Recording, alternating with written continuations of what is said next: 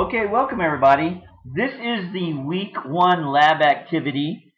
What you're required to do is read pages 1 through 13 and then answer the questions on page 13. Now there are six questions on page 13. Uh, you are only required to answer and turn in the first five questions. So question six you're not required to turn in. Just the first five questions. So let's go through the questions. Question number one says, go to the computer lab or your Excel document. Check to see if it has the Analysis ToolPak add-in. I'm going to explain how to do that in another video, so I'm skipping that step. The second step, if you have not already done so, enter in the TV ad count and the min slash hour data into the workbook. Now, you have to read the first 13 pages in order to do this assignment.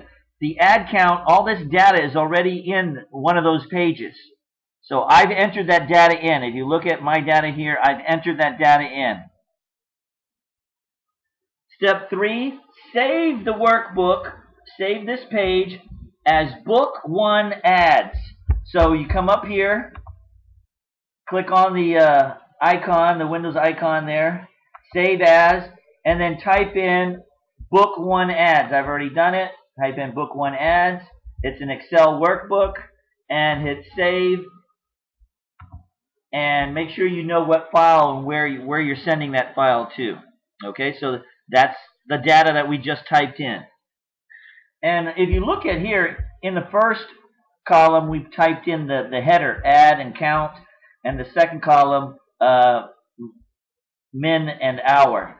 And then the data started on column 2, or row 2, uh, goes all the way down, and then the other column has the uh, its data all the way down.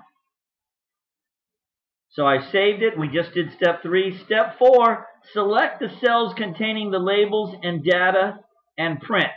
So they want you to print these cells.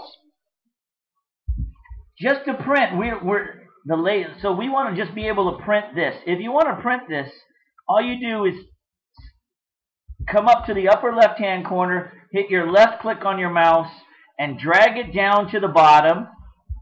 Then come up to the icon and hit print. And that will print just the data. It won't print your entire page. It will print just the data that you want. Hit OK and print.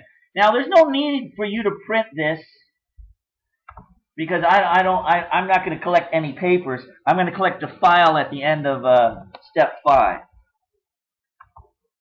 So step 5. In column C, place the quotient A divided by B in in the rows 2 through 21.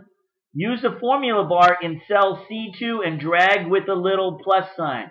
So what they want is they want you to do this column A and this column B. They want you to do A divided by B and they want you to put the answer in C.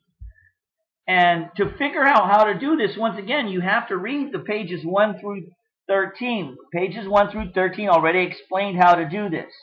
So I'm going to do the first row, 25 and 11.5. What you do is highlight the, the, the cell that you want the answer. Then you come up into your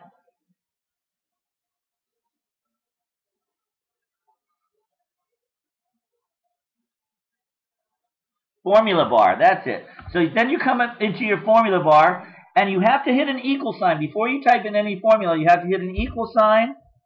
And I want to type in this, this is A2, and this is B2. So I want to do A2, cell A2, and I want to divide it by cell A or B2.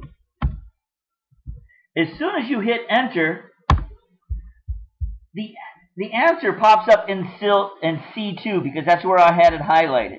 So I'm going to delete that and then try that again. So I want to take A2 and divide it by B2.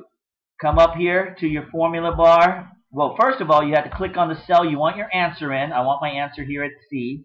And I'm going to hit the equal sign to type in a formula. A2, cell A2. divided by cell B2.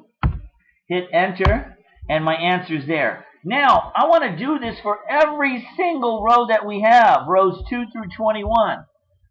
A way to, a easy way to do that is click on your answer from up here in cell C2, and in the lower right hand corner, when you get the, the little black plus sign, you can click left click your mouse and drag this down to the bottom. I drag it down to the bottom, let go, and it automatically does that calculation for each of the rows. Do you see how each row has their own calculation now.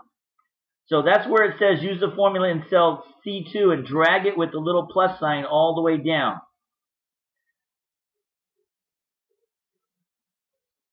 Now I'm on 5B. It says use the sum button to total up the ad count column and the min hour column.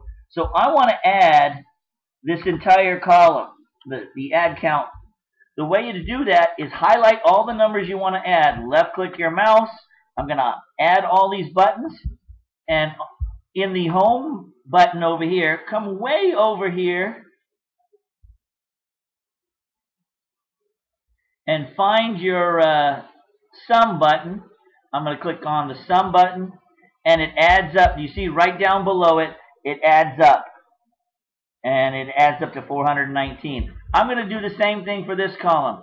Click on the top one, left click your mouse, drag it down to the bottom, and find the sum button. It looks like that little sideways M. Click on it, and it just added everything up in that column. So we just sum the column. Now we want to tell everybody those are the sums. So in the in the C22, I'm just gonna I think it tells you tells us that.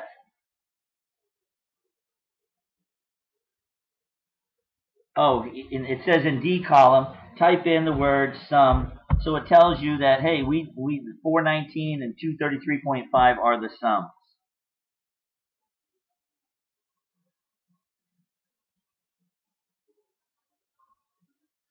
And that's all you have to do. That is the first five steps. Now it says print this out. We don't want to print this out. You want to save this file and then upload it into your assignment folder. So I'm going to save it, save as, and it says book one ads. Just type in your last name after that, save it, and then send it, upload the file into the uh, assignment folder. I hope this helps.